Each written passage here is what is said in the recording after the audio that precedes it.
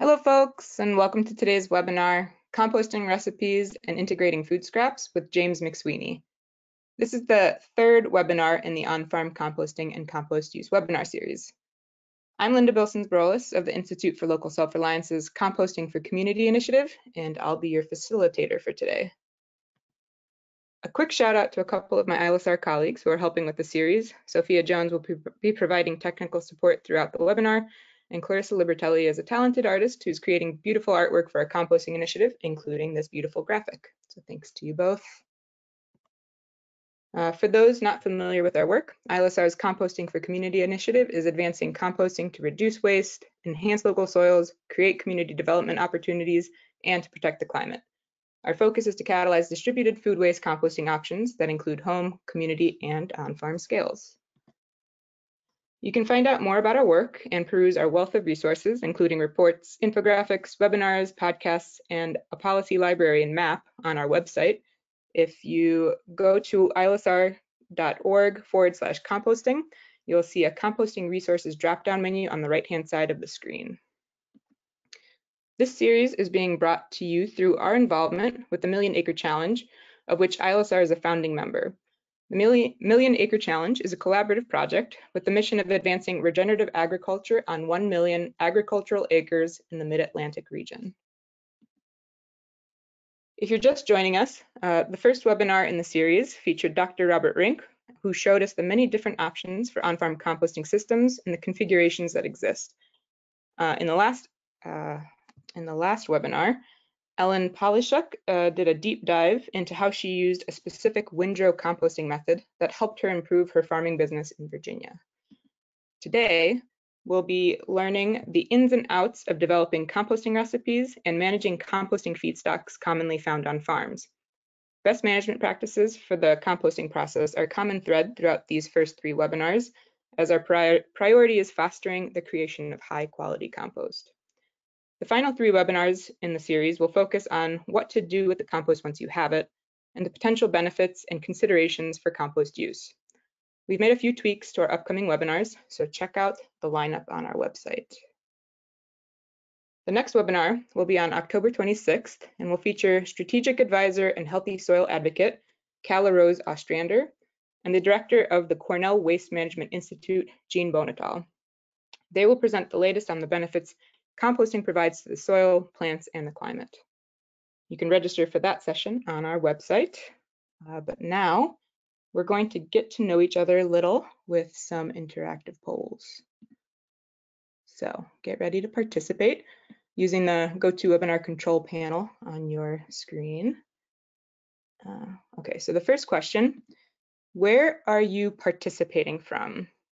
Are you participating from the Northeast, northeastern US, southern US, midwestern US, western US, or are you outside of the US? I'm to give you just another few seconds. Alrighty, let's see where everybody's from. So majority from the northeastern US, but a pretty good spread for all the other categories. Welcome to everyone. So next question. Are you composting? Uh, yes, you're already composting. No, but you're interested in starting. Uh, no, you're interested in supporting others in composting or other. And if you select other, if you wouldn't mind entering in the chat what that means. Sweet, just a few more seconds.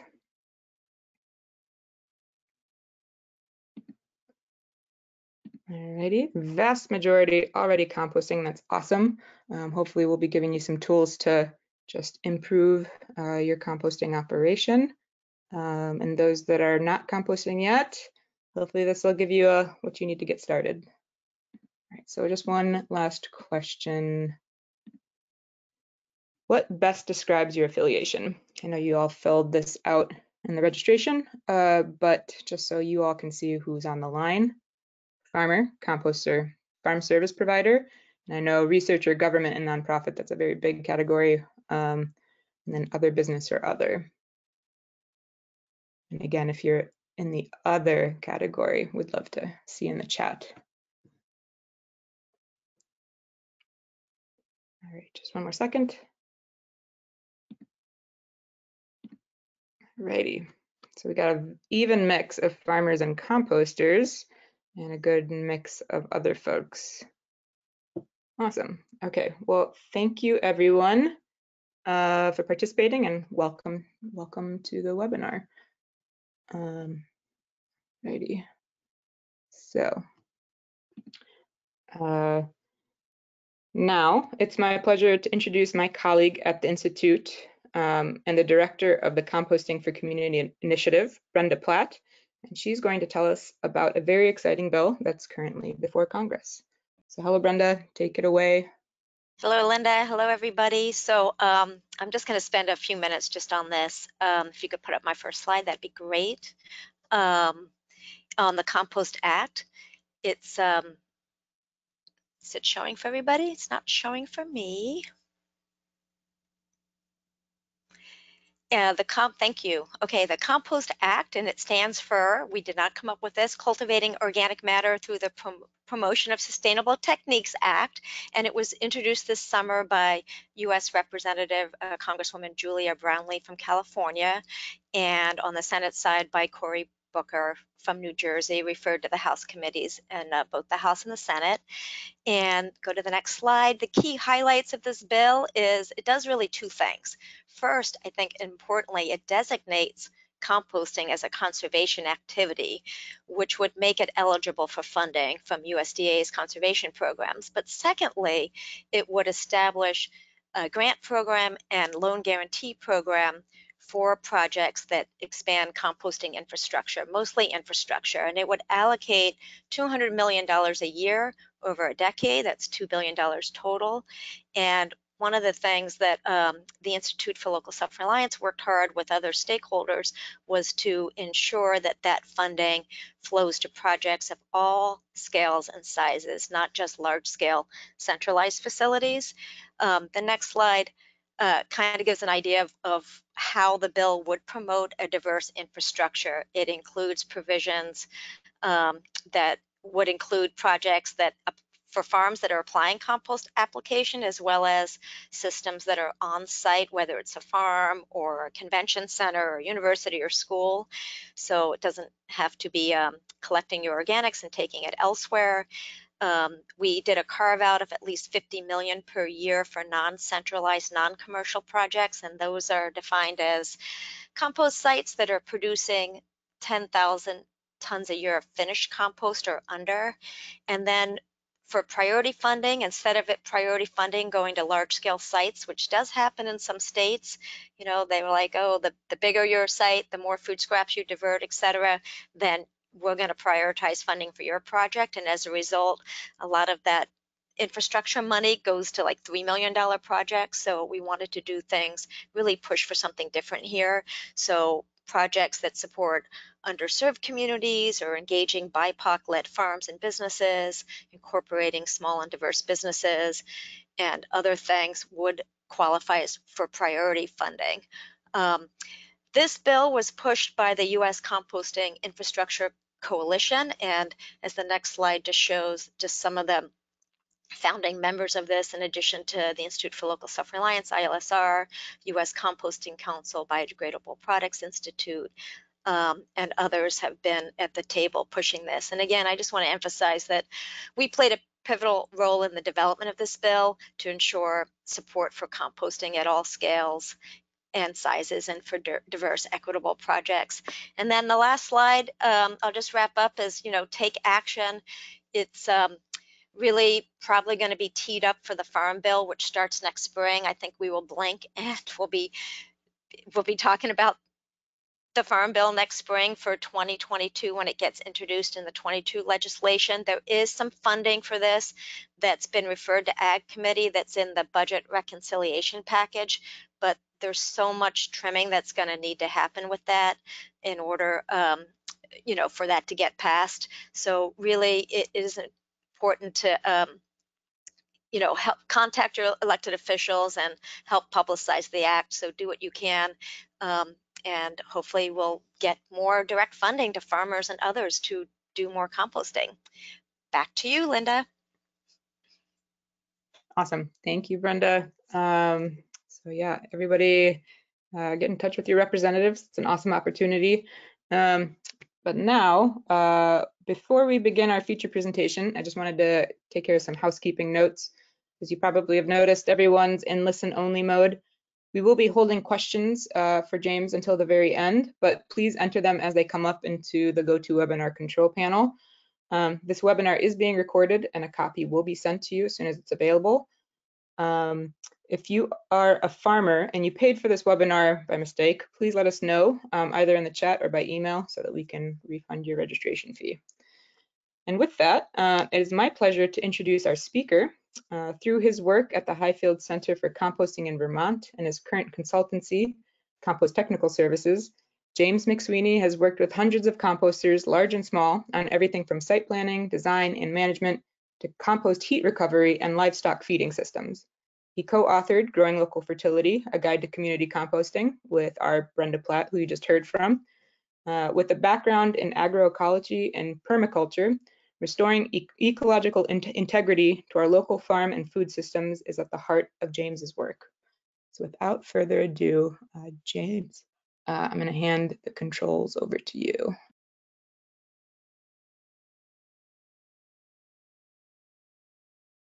All right, looks like I'm live and I'm just gonna take a second to figure out how to get to my slideshow. Let's see.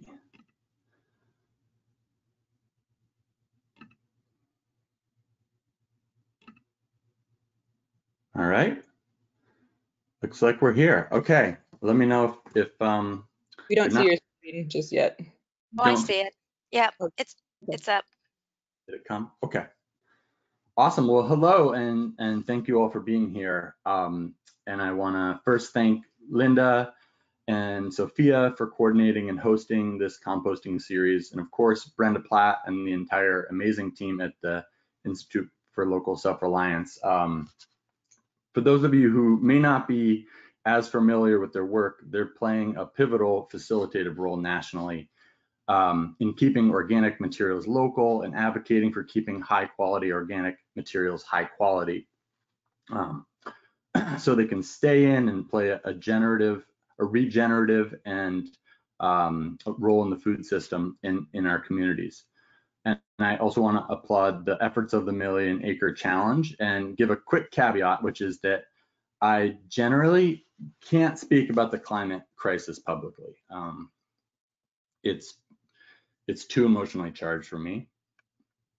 Um, but I do want to acknowledge the important role that farms are going to play as they adopt and improve soil health practices. And I'm excited to learn the latest science about compost and its soil health building superpowers from the upcoming presenters. Um, so I wanted to start my presentation by taking the opportunity to add um, my two cents regarding on-farm composting's role in the compost production side of things. And um, it's it's a conversation that a lot of people have been having for a very long time. Um, uh, you know, it makes sense to most farmers and most people who advocate for on-farm composting that um, com farms are a good place to be composting, but that doesn't necessarily translate to everyone else out in the world. Um, and so I just wanted to kind of talk a little bit about my understanding of some of the barriers. Uh, there's definitely, we need more information about the economics um, of composting and integrating composting on farms. Um, and there is always going to be this balancing act between the cost of production of compost and quality, meaning um, more energy, more cost um, is, is, is is needed to make a certain quality of compost, which I think um, I'm going to be advocating for. But there's, yeah, I mean, there's also you can make compost really cheap, and sometimes that can actually create a lot of problems. So um, that's where you know NIMBYism uh, can and and and bad actors, people who aren't doing a great job can really create big problems for all the all the composters or future composters around them. So um, there are issues that that can be created by composting, obviously, and and we want to be um, promoting the benefits and and making sure that people out there are seeing the benefits. Um, there's al also this challenge in navigating the regulations, or some regulations are just purely inhospitable to um, small scale composting in general, um, or just unclear. Um, quality in organic materials, meaning contamination, which I'll talk a bit about today, is can be a big issue. So getting clean enough material that farmers want it, and um, and having technical support with all of the above. Um, so on the strengths opportunity side of things, I think one of the big things that I go to is that farms have a lot of existing equipment and infrastructure that they can leverage and lower the startup cost, um, the startup and, and, and, keep production costs lower. Um, there is generally not a shortage of organic materials out there. Um, and there are lots and lots of models on the collection of organics, particularly food scrap comp compost, food scrap collection that are both um, are quite profitable. And so um, that side of things is is definitely a big opportunity. It may not be the right thing for all farms to be doing that, but certainly there's a lot of material, a lot of places that haven't even touched touched the available material out there. Um, there are system options, a lot of the stuff that that Bob Rynk talked about, models for most scenarios um, to make some form of composting work on farms and there's a growing public awareness and support for um, composting community uh, from the community from business from government. And um, the movement is growing for composting um, all all different ages and and, and gr groups of people out there. Covid definitely helped um, bringing in especially um, small and medium scale composters and and a lot of them have grown because people are interested in taking better care of their environment. Um, let's see here. See if I can switch to the next slide. There we go. Um, it also is a way to connect food producers with um, food producers with with waste management systems, which are typically these siloed worlds. Um, and, and it can do that in sort of a non-threatening way because farms aren't necessarily com competing commercially in that waste management market. Um, so it's yeah, so I think that, that there's a real potential there in many many cases.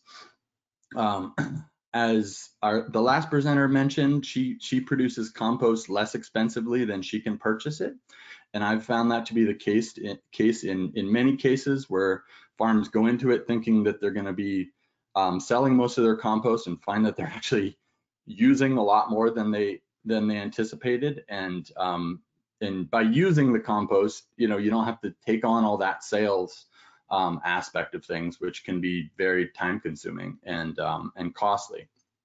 And and lastly um, you know it's a way to connect the community with farms. Um, so just an example here on the left is uh, is Sunrise Farms carbon management facility. It's a it's a solar powered aerated static pile system. They're also powering, I think they're selling power back to the grid. So they took the roof, installed solar panels, um, and they call it their carbon management facility because they're both um, offsetting carbon um, and and making carbon for their soil um, through their compost. Just here's a couple pictures of their system, their aerated, static pile system. They've got a nifty electric fence that they that is solar powered that's um, to keep keep critters away. They um, have, I think, a 400 person, 400 family CSA, and their CSA members bring food directly to them and they compost it on site. And most of the compost is going to be used in their greenhouse production. This is in White River Junction, Vermont. Um, so just an example of how they've how they've just closed the loop really tightly on their own farm and with their own customers. Um, and another caveat to all this is, uh, you know, there is no best way to compost. Um, there are lots of different ways to compost. There are wrong ways to compost. It's creating issues, pollution issues, neighbor issues, um, contamination. Um, but there are a, a, a, whole lot of options out there.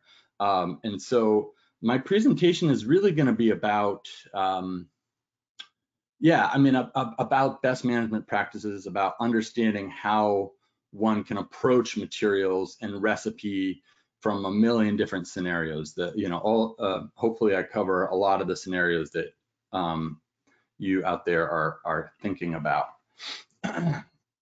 and let's see, I think I skipped two slides there. Um, I am gonna be talking about managed composting, which to me is um, means having a planned compost system with adequate adequate capacity. And I'm gonna be talking a little bit about planning for capacity knowing knowing the character and how much you know the the raw materials you're working with in terms of their its character, it, the volumes you're handling, um, using some form of a recipe, um, blending materials together, containing putrescible or potentially odorous or a material that might be attractive to critters, monitoring, um, turning and aerating, heat treatment, so it's getting the compost hot enough to be killing pathogens and weed seeds, um, preventing nu nuisances, obviously odors, vectors, pollution, uh, and mature, maturing the compost long enough that you're ensuring a, um,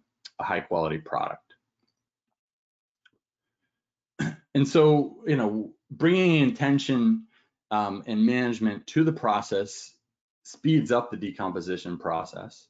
Um, it's you know it, in a lot of different ways but when you bring air into the system the microbes are just more active um, that's that's one of the main ways that happens um, you're also improving the conservation of nutrients we'll talk more about that in terms of carbon and nitrogen and that balance um, you're mitigating pollution, uh, pollution and dealing with pathogens potential pathogens and there's global impacts um, in terms of the return of carbon, nitrogen, other nu nutrients, um, keeping them within the, the natural system and the ecosystem.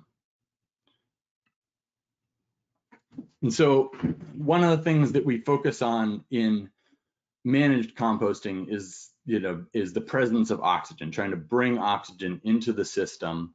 Um, we're trying to foster the aerobic microbes that that need and, and love oxygen and that are the most efficient microorganisms in terms of their fast and complete decomposition.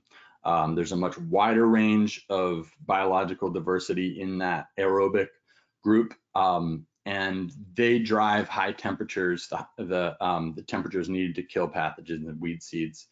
And they are generally much better at breaking down odors um, and not causing odors.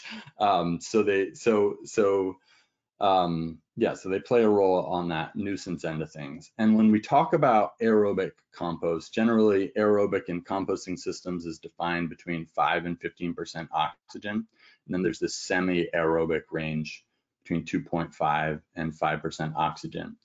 And it's um, it's important. I you know my understanding has has developed over the years in terms of thinking, you know, really the, the, composting process is not entirely aerobic. I mean, there's there's what we might call it. I mean, the cores of these particles simply can't oxygen can't make its way in there. And so what's happening is in on these surfaces of particles, we're trying to provide as much air as we can.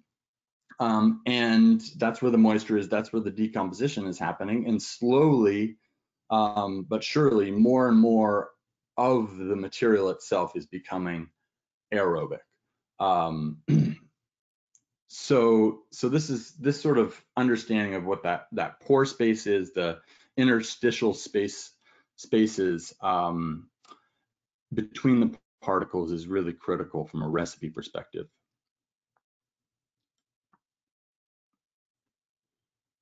Oh, that my arrow started working. And and um, compost does provide some aeration. Bob Rynk talked a lot about this, and um, with with with a, a good porous mix that heat rising can pull in air. Um, and so we're trying to foster that natural um, convection and diffusion of oxygen because um, unless you have a forced air system, um, turning the compost is a very short-lived um, way to aerate the compost. Uh, if you're measuring oxygen in a, in a really active compost pile, uh, it, it you're, you're getting down into that semi-aerobic zone after a turn in 15 or 20 minutes. It just, the microbes are so, um, they use the oxygen so fast. And so that's where that porosity in the mix really becomes critical to, to keeping some air moving um, and moving the process along faster. Um, cost, uh, turning turning more frequently is also just really costly and, and laborsome, and it's and it's just not necessary um, in my opinion. so I think I skipped over the the uh, outline of the presentation, but I'm going to be talking about recipe and feedstocks for on-farm composting, handling feedstocks, um, preparing feedstocks, um, integrating food scraps, and then a little bit about capacity. So starting with recipe and feedstocks for on-farm composting. What are we doing? What are we, when we talk about a recipe, we're talking about blending materials together. And what we're trying to do is balance um, mainly protein with carbon, um, much like we do for in our own diets.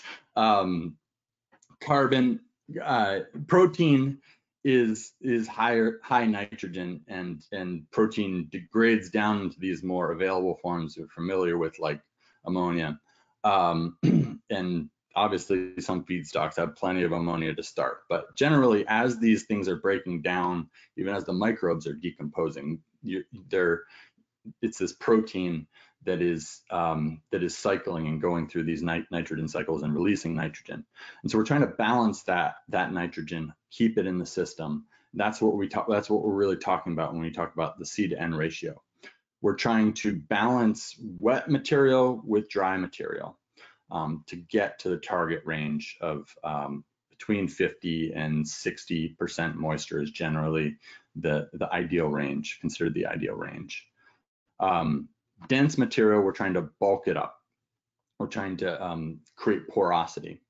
And we can create recipes in a number of different ways. Trial and error is one way. Um, using analysis of, of the raw materials and doing some calculations with a recipe calculator is another way. It takes a lot of the guesswork out.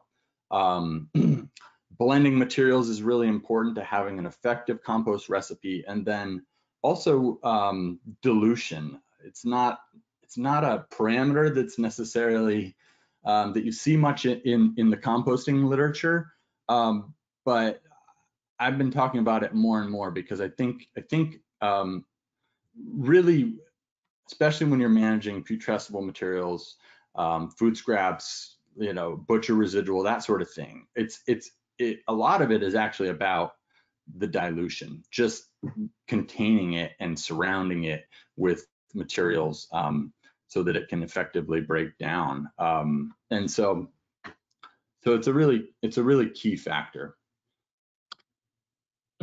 so, gonna um, talk about those parameters a little bit more from a recipe perspective, and then talk about the raw materials themselves and, and how we can use those, um, how they factor into the recipe.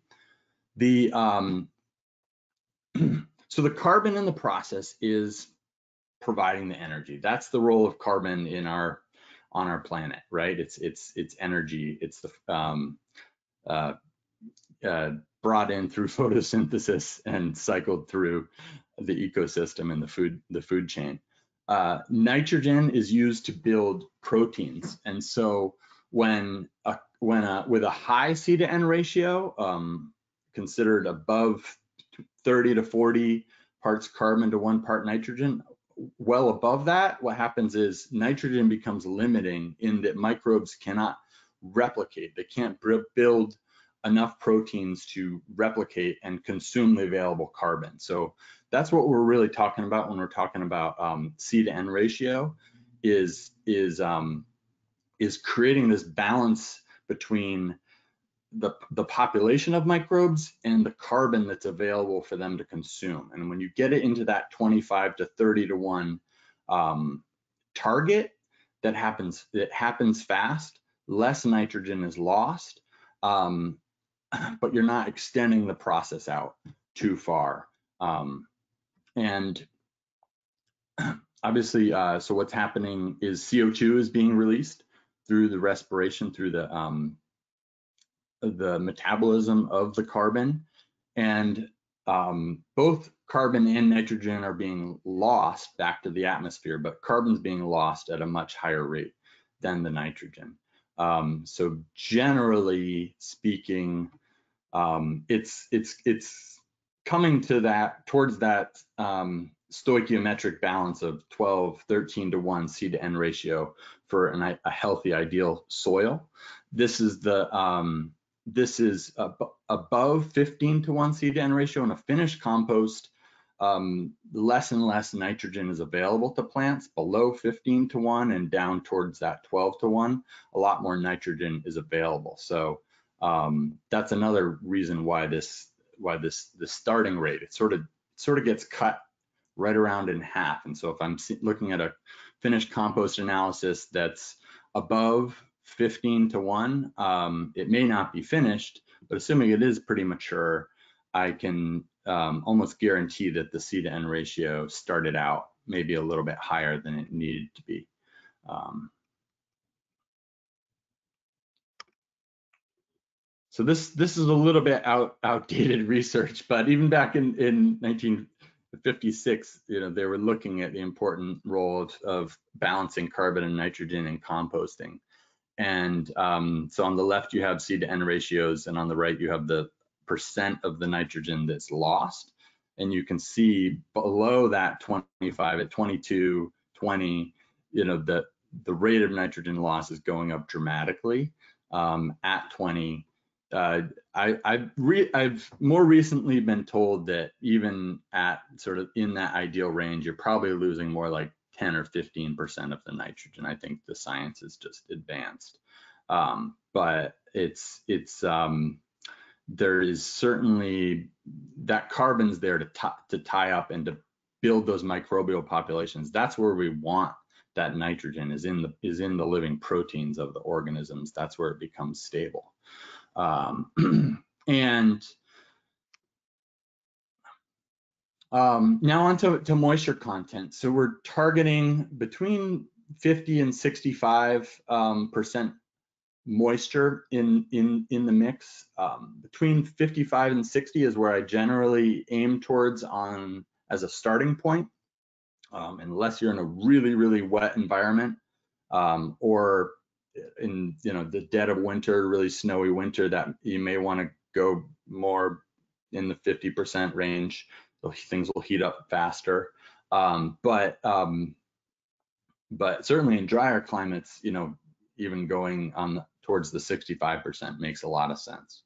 Um, but just like conceptually, um, I talk a lot, I present a lot about food scrap composting. So assuming that you've got a thousand pounds of, of food scraps, which is about a half, you know, um, it's a half ton, it, it's, it's roughly a cubic yard of food scraps and they are starting out at 80% moisture, that's 80, 800 pounds of water. And so in order to bring the moisture content down, um, we need to, to um, down into the ideal range, you know, a quarter of that moisture needs dry matter to absorb it. That's really the, that's really the concept we're going for. It's there's an intuitive part to this, but um, but this is also what a recipe calculator can can provide is is is a um, a faster, more accurate representation. What are we talking about when what does 60% moisture look like? And this is more of like a, a squeeze test for active composting where you can get a handful and things are really well blended and started to break down. If you can get a small handful, squeeze it as hard as you can. You're just looking for slight glistening between your fingers. That's 60% moisture. That's that's the target for active composting um, it, from my experience. Um, the And the reason why I, I, I say on that higher edge is because compost dries out really fast when it's hot. It just, it, it dries out really, really fast. Um, so the, um, yeah, if, it- if you're getting dripping, that's generally considered above 65% moisture content. If you squeeze compost as hard as you can, you can't get any dripping or glistening, but it does conform into a ball when you open your hand. That's in that 50 to 60% range. And um, it's not below 50% at least. And then if it's too, too dry to stay in a ball, that's 50% moisture. And, and it's hard to do the squeeze test with a, with a fresh recipe, but this is sort of just to give some concept of what those moisture contents look like in practice. Um, bulk density is the weight of a particular volume of material. Um, and so C to N ratio, moisture content, and bulk density are the three parameters that we calculate when we do recipe calculations. They tend to be the things that we focus on. Um, so in general, materials that are have a weight above um, 1,000, 1,200 pounds per cubic yard um, will require a lighter material to balance. When you think about you know why materials might be really heavy or really light, in the center here um, is is is high bulk density. So um, high moisture content obviously raises the weight. Low organic matter or materials that have a lot of mineral are much heavier than high organic matter materials. And then um, materials that have very little porosity also tend to have a high bulk density. So if you're dealing with high bulk density, you can be looking to any one of those things in a raw in the raw materials. Um, could be the could be the result of any one of those things. When, so when thinking about just general um, the feedstocks that are out there, and I'm going to come back to this a little bit more in more detail, but um, there's there are food scraps or food residuals coming from residences, commercial restaurants, that sort of thing, institutional schools, um, hospitals, um, and then food processing residuals, so materials that are coming from sort of food manufacturing.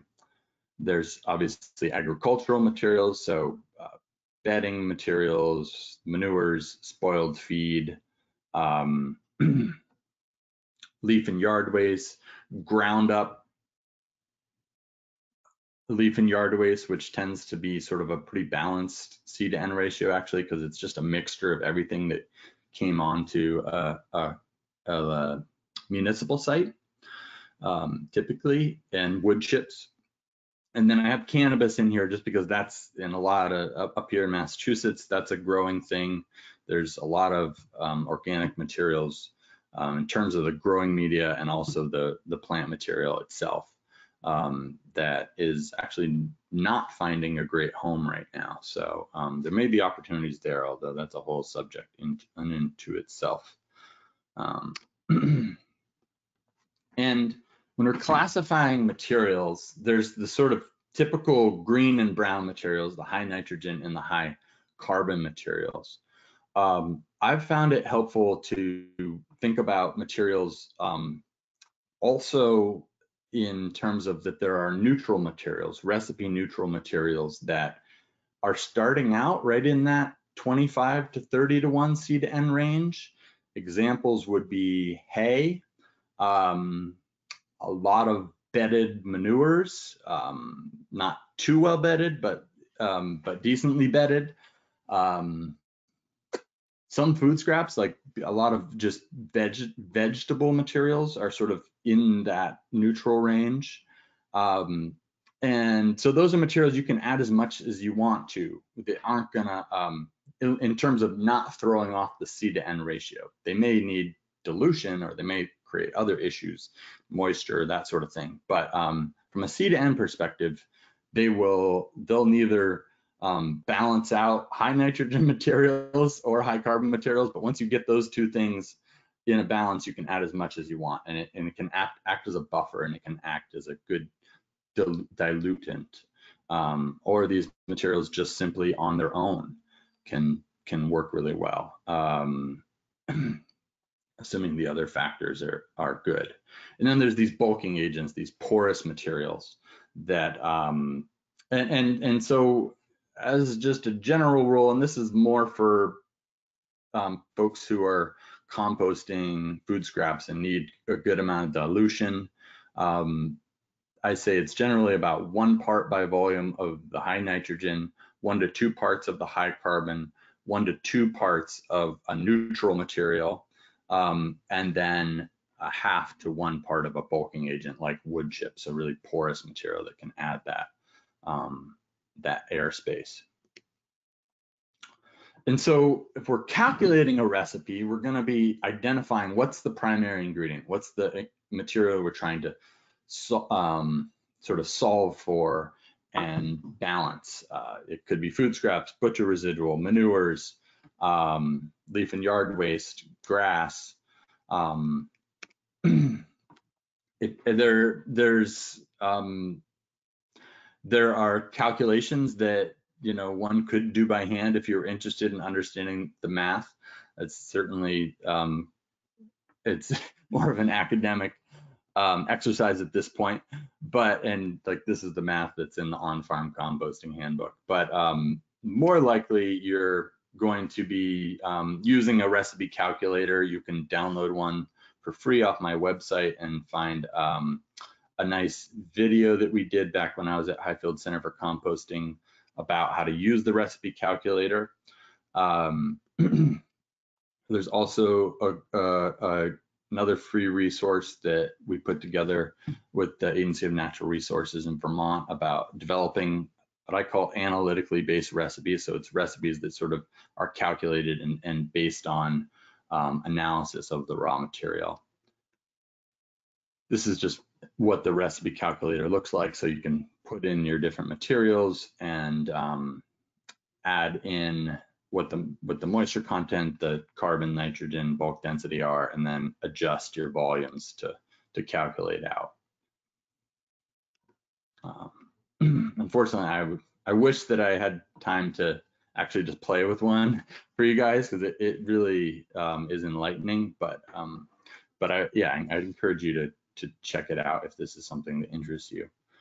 Um, there is a lot that the calculator can't tell you. Obviously, you got to work with these materials. Um, it doesn't necessarily tell you whether or not a material is is porous or will remain porous throughout its its life cycle. Um, it may have a really high or low bulk density, meaning it's really light, um, and it and it may be too porous, or it may that porosity may go away instantly.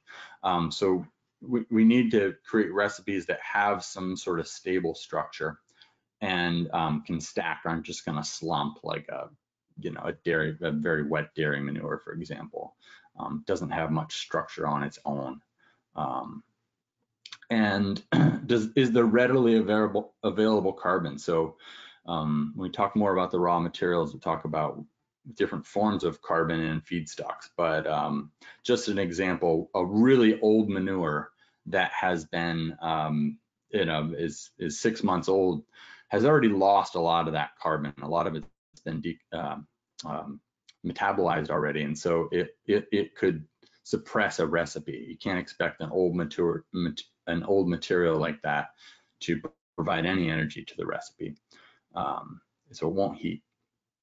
And then there's uh, materials, their character changes, their moisture content changes. That things things are are constantly um, changing out there in the world, and so it can be wet, it can be dry. Manures come in based on sort of the environment. Um, larger particles are typically less absorbent. So wood chips, for example, um, may look really dry on an analysis, but they but water will just drain right through them. So um, they're not they're not generally as absorbent. You can also have um, materials that look really dry, like this is a, a, a sugar sand niter. It's it's diatomaceous earth that's used for filtering maple syrup, and has a really low moisture content, but um, it's diatomaceous earth, so it it doesn't absorb water at all. Um, it so it's so it's really not helping to balance things. um, using recipes in the field, this is an example specific to, to food scraps, but the trying to figure out what you're trying to do is figure out a, a, a volumetric ratio, right? Of sort of from whatever your primary material is to the other materials. So the recipe down here um, is one part food scraps, three part leaves, one part horse manure, and a half part wood chips. Um, if I knew that I had a truckload of food scraps coming in and that truckload was eight tons, and that on average um, a, a cubic yard of food scraps weighed a thousand pounds, then that, so that's 16,000 pounds of food scraps or 16 cubic yards. So I'd multiply all these other materials by 16 to kind of know how much material I'm trying to blend together. Um, and then generally I'm trying to keep a record of what I blended together in some sort of pile tracking documents and I can follow it through its life. Um, I'm going to jump a little bit more into sort of materials um, qualities of compostable materials. So just thinking about carbon, it's in on our analysis, it's it's measured as um, um, as a percent weight, and for recipe calculations, we use the dry weight, the percent um, once the water is removed. And carbohydrates, uh, simple sugar, um, those that's considered the low-hanging fruit. Um, so so feedstocks that have a lot of a lot of available carbohydrate that'll break down really fast. Um, food scraps, um, manure, sort of green, any green parts of plants um, break down really fast, right? Um, cellulose is is um, what makes up the cell walls of plants, and um, we think of it as sort of dietary fiber. And so that's the dietary fiber, fiber part of, of our diet. Um, it's also, microbes can access it and break it down really fast. So thinking like hay, straw, leaves, paper, um, not as fast as like the sugars, the carbohydrates, but they're they're they're um, metabolizing it into those things. There's all these secondary plant compounds um, that are somewhat accessible. Um, some of them aren't, but most of them are can be broken down, but they take longer. So that's you're gonna have a lot more of that in bark, woody materials, um, leaves. And then on to lignin. So this is wood, um, the woody kind of structural form of carbon um, that is a secondary cell wall. Um, and that takes a lot longer to break down and that um, generally fungi are playing, are best at playing that role in breaking down um, lignin and, and, woody materials. And so, you know, people who are trying to make a more fungal compost, fungally rich compost and diverse uh, um, biologically diverse composts are going to want a little bit of that in there. Um, so, so it's woody, woody materials. Hey, James, uh, yeah. just wanted to flag that we have just over half an hour left. Okay, thank you. so nitrogen, we're talking about um, the weight of nitrogen, uh, sorry, so nitrogen is the, um, the protein side of things. Um, and so proteins are are um, the higher the protein content, the higher the nitrogen level in general. In general, and, and, and again, this is the part of the of the um, the recipe that is going to be driving that microbial population.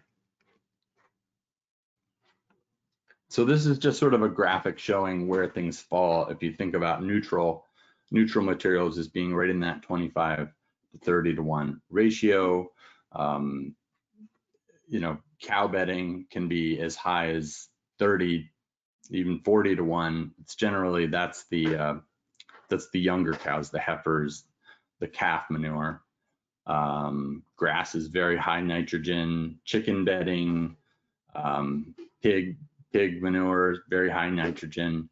Um, I'll talk a little bit more about those things. And you know, when should you have a feedstock analyzed in a lab? It it's um, that is it's really up to you, but it's when it's when you think that you can um, you can't really trust the book values, or you just kind of shooting in thin air in terms of what you know what you might be dealing with. There can be this huge variation. Let's say you're doing a horse manure. Well, I've seen analysis of horse horse bedding, bedded horse manure, um, that ranges between 30 to 1 C to N ratio and 90 to 1 C to N ratio. Um, and so it's generally sort of on the neutral to high carbon side of things. Um, but I wouldn't necessarily know that even after years of sampling a lot of these materials. So um, yeah, it, it, sampling can take the guesswork out. Um, you can also find book values. These are um, values that are in my book. The on-farm composting handbook has a has a great table um, that can be downloaded for free online. Um, so this is just what you'd see in, in my book. You've got bulk density, you've got percent solids, uh, moisture content, C to N ratio, a lot of what's on that analysis. you want to make sure you're getting a representative sample, ideally, you know, digging in with a tractor into a pile of manure and getting sort of from both the inside and the outside, doing a composite sample. We generally say around 20 um, subsamples all blended together and getting it out to a lab. Here's a list of, of um, the labs that are S, STA certified to, um, that use the test methods, uh, the TMECC protocols, which is sort of a uniform standard across the US. Particle size is really critical. Really fine particles, think about it like clay, right? They it clumps together whereas um, medium and large particles can, can create some pore space. And that pore space is where, is where the microbes are active. So really ideally you're having a diversity of different particle sizes, really large particles. We'll talk a little bit about carcasses in a minute. Um, tree limbs, you know, they're not going to break down in a compost pile. Um, carcasses will, but tree limbs won't. It'll take longer, right? Because um, they're going to have that anaerobic core. So this here's just an example of all these different you know, sizes. Generally, over two inches is not needed. Um, in some particles within that one to two inch range um, are really good at creating that pore space.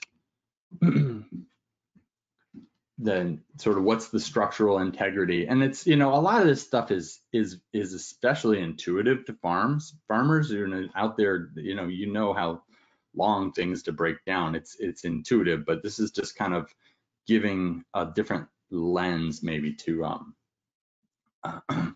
which through which to view it from a composting perspective um so um yeah so the structural integrity refers to how prone a material is to decomposition. This has a lot to do with C to N ratio, actually. Um, the lower the C to N ratio, generally the faster things break down, both in the field and in the compost pile. Um, and, but we need, we were looking for some of those, a small percentage, 5, 10, 15% of the larger um, uh, structural particles. Organic matter is the, um, obviously is the opposite of a volatile solids content. Organic matter is the, is also associated with carbon. So that's, that's the driving energy. Any a material that has very low organic matter, like uh, clay or soil, for example, will suppress the process because it's not compostable. It's, you know, it is the opposite of compostable. Um, it certainly gets blended in with the with the organic matter, But um, so that can be used as a way um, to suppress the process somewhat um, or buffer the process. But it is, um, but it's yeah, those materials materials with high volatile solids don't drive the process in terms of the um, heat at least. pH can affect a recipe. And, and, and the thing to know about pH is we're just, we're, we're watching out for things that are on the really, really low end of things or the really, really high end of things because microbes don't generally like, at least diverse microbes don't, can't really survive at that, at those edges. There are some, but it's very specific types. Um, on a high alkaline side of things, nitrogen is also lost much faster, um, particularly at high temperatures. You're losing a lot of nitrogen. On the low end of the scale, um, that's associated with organic acid formation and odors. So some of the worst odors that I've encountered have been in um, when something really putrescible like food scraps has been composted with uh, coffee chaff, for example. Um, someone they were assuming that it was on the sort of the dry matter side of things, but it just the combination just created a really a really big problem. Um, so yeah, so so that's something to watch out for. Um, I think I think I just covered this slide. Salt. Um, it's it's obviously you know toxic to plants and is found in a lot of animal and human food on, on your lab analysis, you'll see it's measured on a scale of electrical conductivity. Um, above most tests use this millimhos per centimeter scale and um, finished compost, really soil that is above five millimhos is um, can be harmful to plants. Compost that's above five millimhos just really has to be diluted. Um, and and and that it can be common for like a food scrap compost or even a, uh, like a dairy manure compost to be a, above that. Um, so so it's you know in potting mixes that sort of things um, like high dosage applications of compost.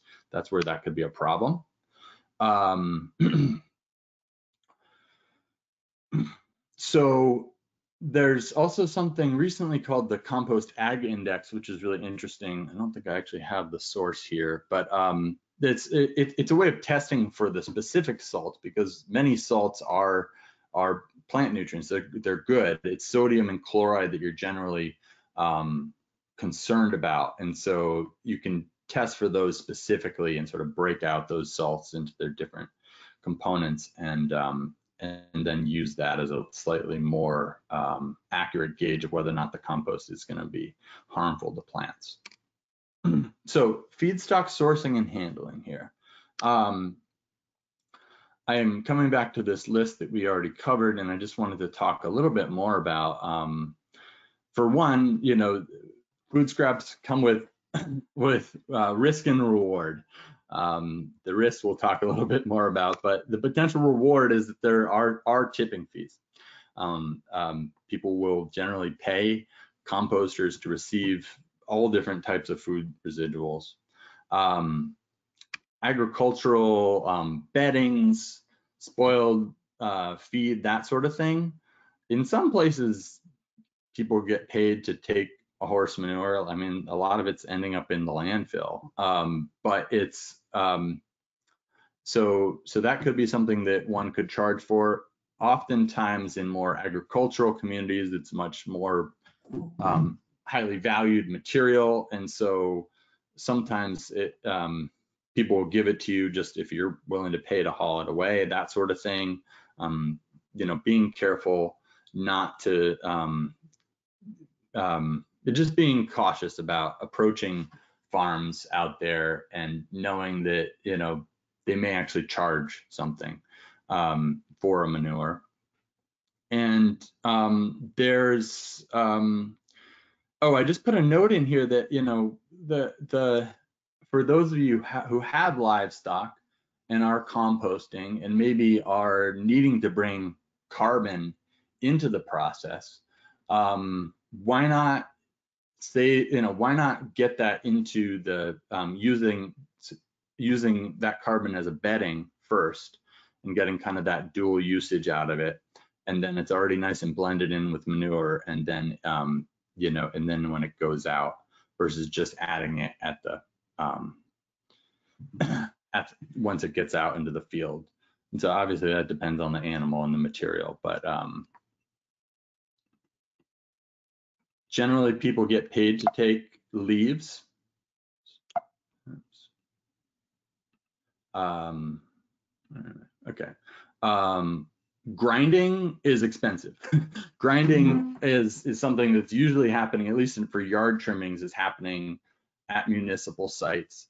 What some farms will do is basically stockpile yard trimmings for a year and then bring in a grinder, or they may, you know, get have some sort of arrangement with the municipality where the municipality will pay for the grinder to come in and um, grind it all up if they're willing to to deal with it.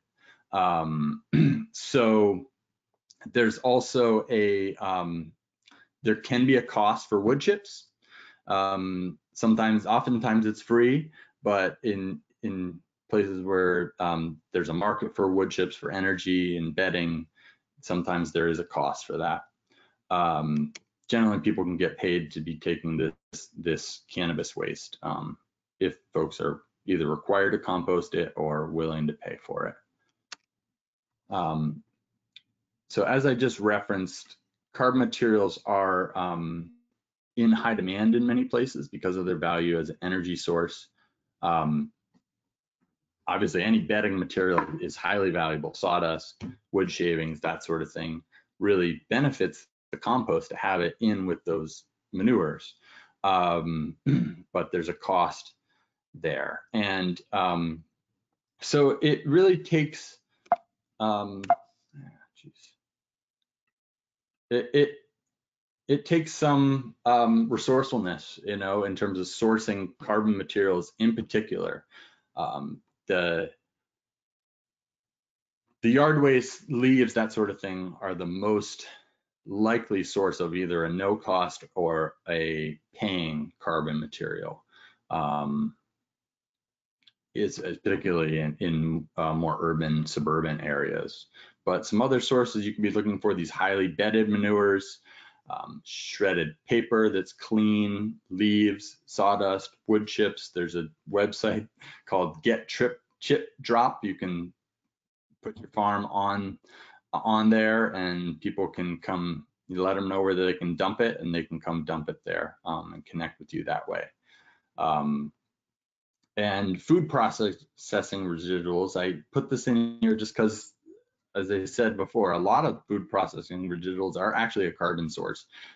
Potato chips, cranberries, uh, you know, there's a lot of them um, that are actually on the carbon side of end of, things, not the high nitrogen end, end of side of things, but they still require dilution, um, but they're not going to require additional carbon necessarily to get them to break down. Um, let's see here. so in terms of pre-processing of feedstocks, this was an interesting one um, that um, I there as far as the topic of like what materials might require pre-processing, um, most you know most don't require equipment uh, in, in general. Um, but some examples like this is a a um, a belt press that presses dairy manure um, and creates. You can see on the left here that pile there is what comes out. It's um, it's very fibrous and has a perfect C to N ratio um, and feels light and fluffy, but it has the moisture is about 70%. And they actually use that manure um, to generate heat and they pump hot water, hot, hot glycol actually into this old farm, farm tractor radiator and and heat their um, their press room with it. So um, it's kind of a cool little loop they've created through their composting process and capturing that heat. Um, James. Yeah. Just wanted to flag yep. we have about 20 minutes left. Um, just making sure uh, discussion of food scraps still on. Yeah, we get Yeah, I think we're almost to the discussion of food scraps. Um, let's see here. So, um, yeah, here's another type of, of, of, this is a screw press. So these are, these are manure separators.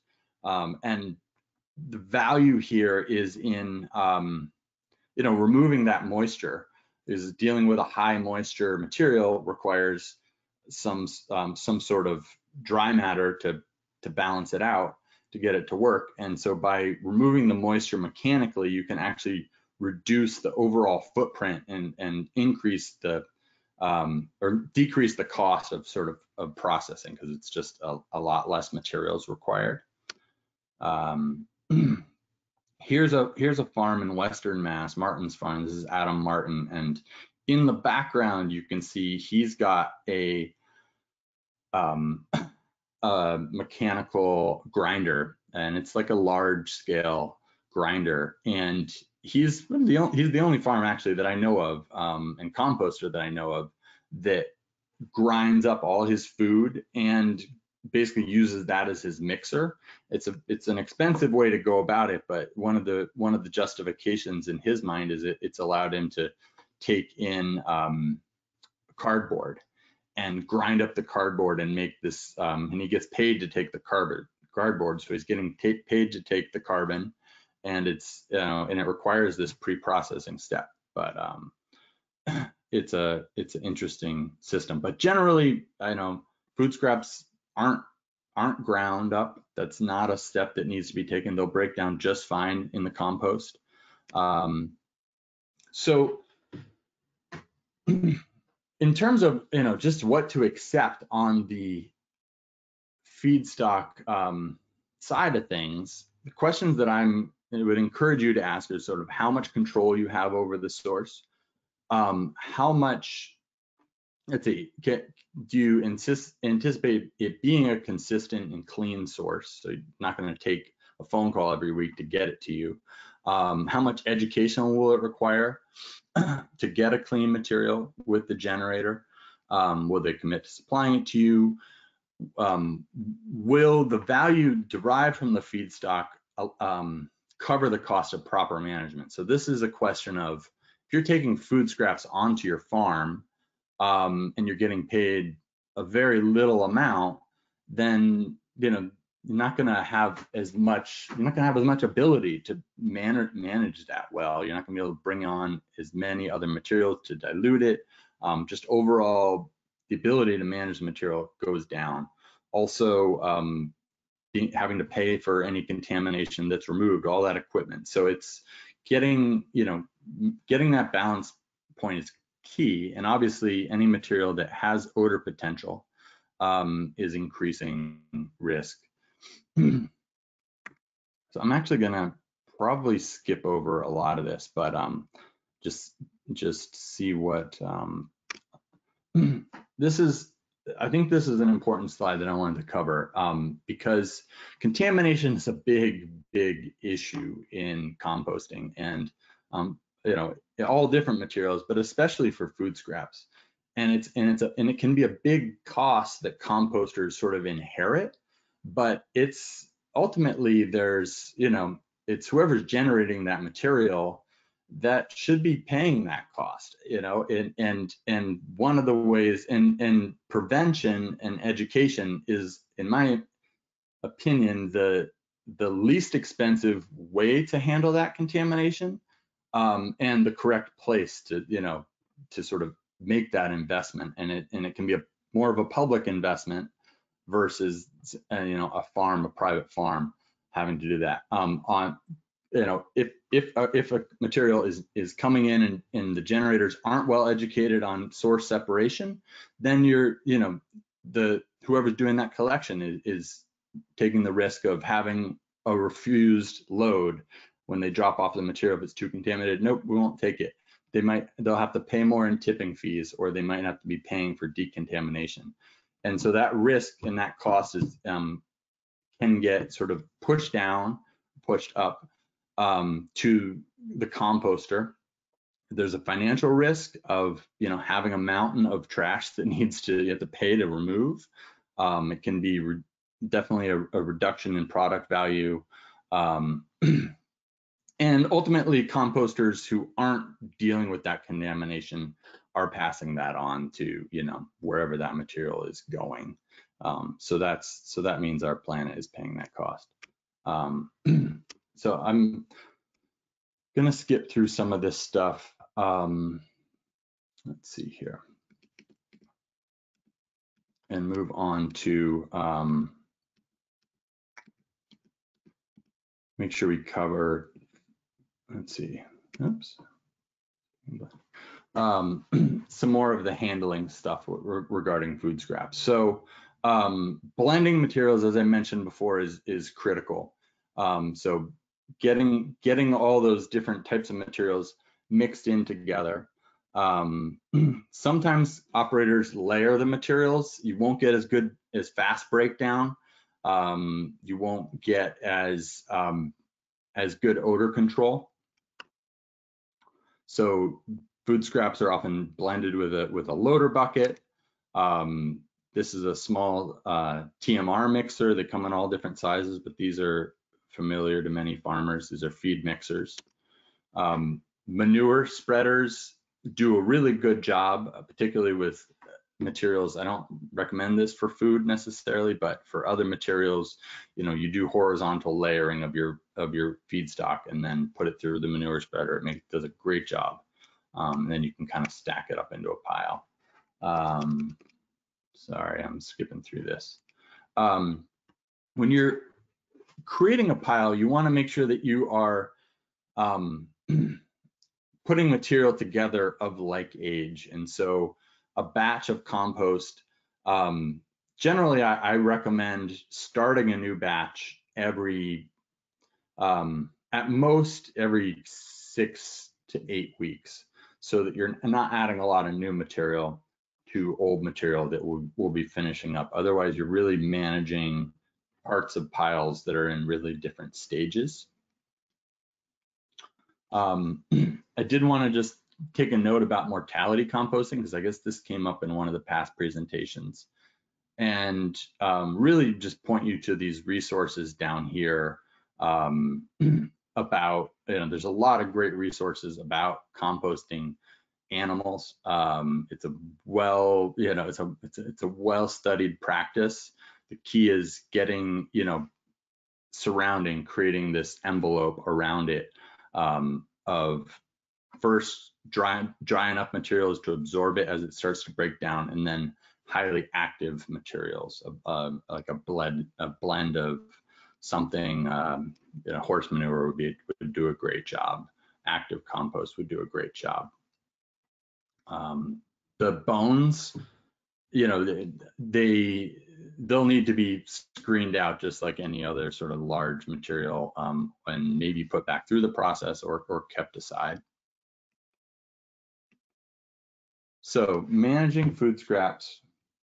Hmm, I think I'm almost done. Wow, time is flying. Um,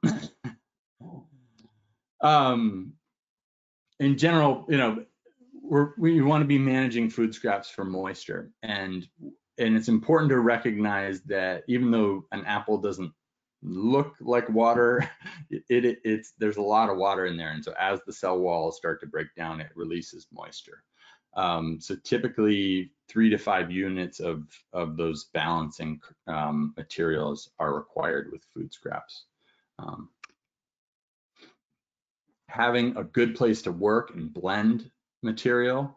Um, so what I would call a receiving bay. Ideally, it's a concrete area that has um, where you can work with a loader to blend up that material. Um, you want uh, something to push against and a uh, for someone who's really seriously doing a lot of food scraps, having a dock to tip off of helps to kind of contain the materials because you know eight tons of food is is a lot and it will it it um, spreads. uh, here's just an example of that tipping dock here. Um, I'm gonna just show this quick video here hopefully, I don't know how well you'll be able to see it. It'll be a little jumpy, but here he is um, dumping food scraps into a carbon trough. So putting down a nice dry bed of materials with some edges just formed with a rake will, will contain the food scraps and um, basically just allow you to keep everything nice and clean. Blending of food scraps breaks down odors faster. It initiates that hot temperature um, and will create a much more uniform end product faster. It's important to maintain these areas because they can, they, you're working a lot back and forth. This is where the concrete comes in, but if you don't have concrete, um, a nice packed gravel area can work. Um, trying trying your best to keep it keep it level, make make sure it's draining moisture away. Otherwise, you're really can be operating in a mud pit. Here's an example of a receiving area that needs to be replaced. Um, keeping food scraps, just cleaning up really um, is going to prevent vectors, animals from from coming on. Um, and let's see here. So really important, immediately incorporate food scraps into piles, then cover them with compost. Um, and and that will both that will avoid odor generation and it'll also avoid attracting animals.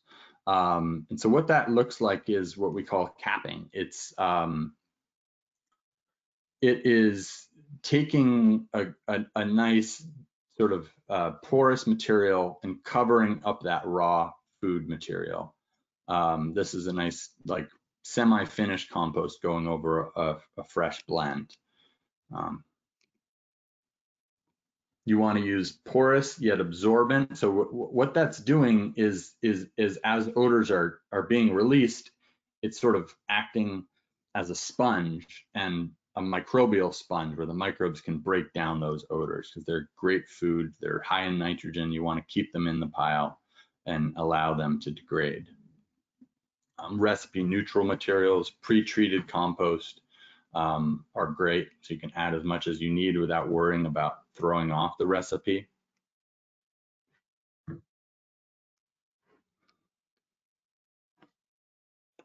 Um, talked a little bit about pile covers as another option. This is a um, this is a less expensive type of cover um, called as a Compost-Tex.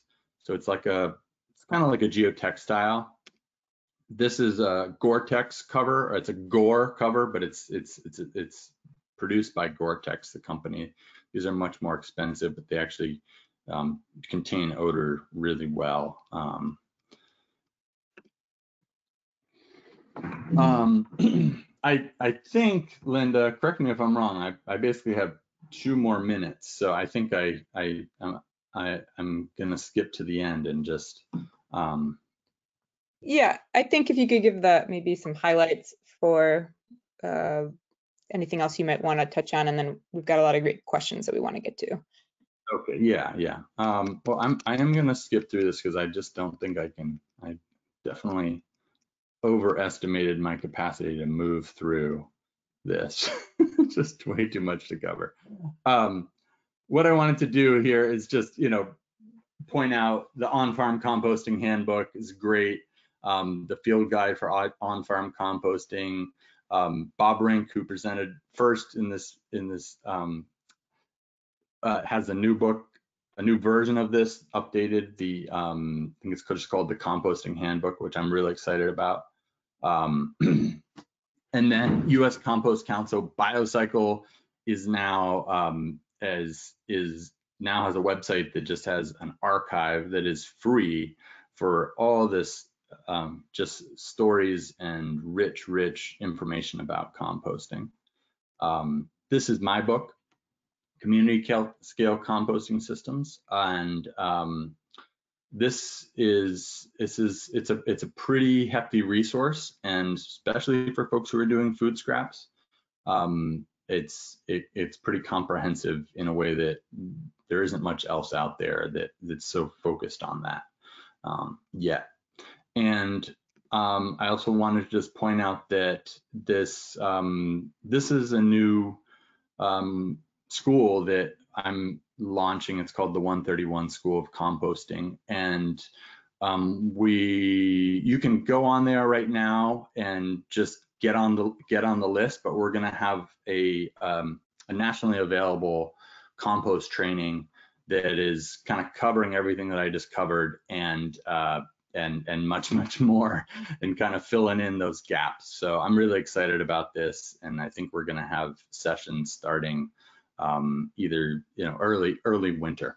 So um, with that, I'm excited to answer questions and, and, thank you all so much for those of you who um, are here. Awesome. Thank you, James. I'm just going to take over um, controls, but uh, while I do that, um, I'll give you the first question. Um, uh, there was someone who asked, they saw you mentioning both ratios by weight and volume in the uh, compost recipe development process. Which one do you think is best for recipe development? Mm-hmm. That's a really good question. Um, and so, so when we talk about weight, it, it, could mean a couple different things. You could talk about the weight of the raw materials, but what we're really trying to get to in the recipe development process, um, if you're going that analytical route, is is balancing the weight of the element of carbon and to the weight of the element of of of nitrogen. So that's a weight-based calculation. Um, and what a, what a calculator, a recipe calculator allows you to do is take um, a, a volume unit, so a cubic yard of, of one material or a bucket load of one material. That's the great thing about a volumetric ratio is that you can choose any unit and you know as long as you're sticking with that unit or can convert units you can um, you can you can follow that recipe. So it doesn't matter if it's a five gallon bucket or or a tractor bucket. Um, as long as you're following that ratio by volume you should be getting the recipe right. And um, and so what the calculator does is it, it converts volume units to those weights um, to the weight of the raw material and then to the weight of the carbon, the nitrogen, the moisture content, and that's that's what's happening. But ultimately, you want to be working on a volume basis, not a weight basis, because it's not a practical um, way to work.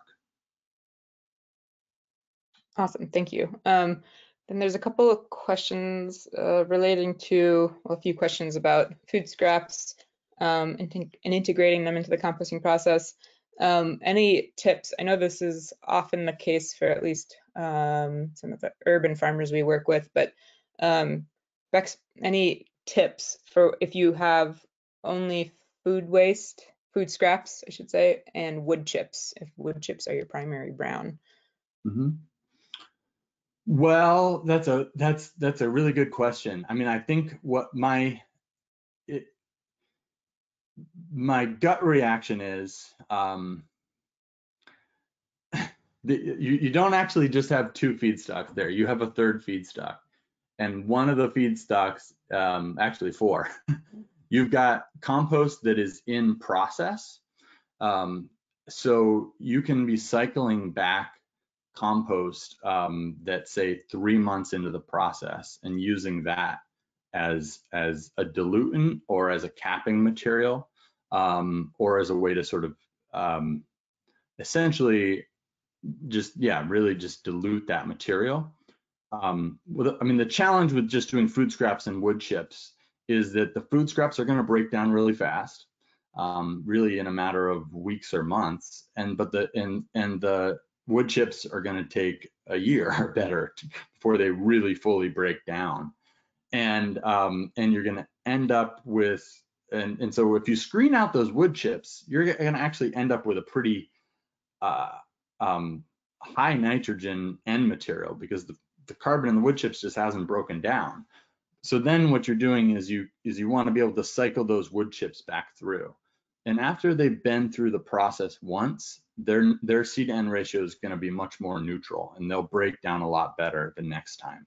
So um, yeah, and so and so you can either be using compost that's in process and cycling it back, or you can be using the wood chips after they've been screened out. It's if you're not screening at the end, then um, yeah, I'd be trying to I'd be trying to cycle back older compost into the newer compost to get it to break down so that by the end you're really um, getting a more finished product.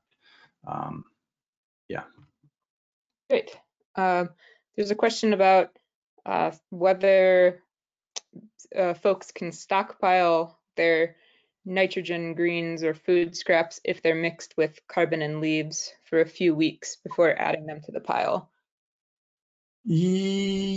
I mean, yeah, I wouldn't use the word stockpile, but um, but I would I would say you know yes, as long as you're really I mean I I definitely try to get a blend. I mean, really, what you want to do you don't want that to be like festering and going really really anaerobic.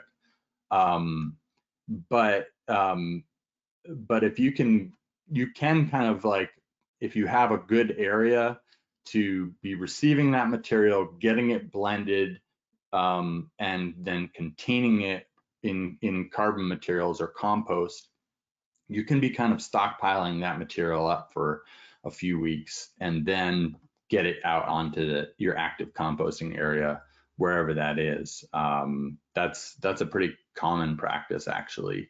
Um, but it, it's it's not great practice to just be receiving it, covering it up, the, a, a, lot of you're just going to end up with a lot of leachate happening and um, odors and, and vectors and that sort of thing. So um, um, yeah, there's you can also be doing that in, in like a some sort of container.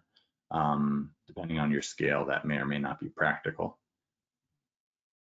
Great. Um, yeah, that's something we definitely do not.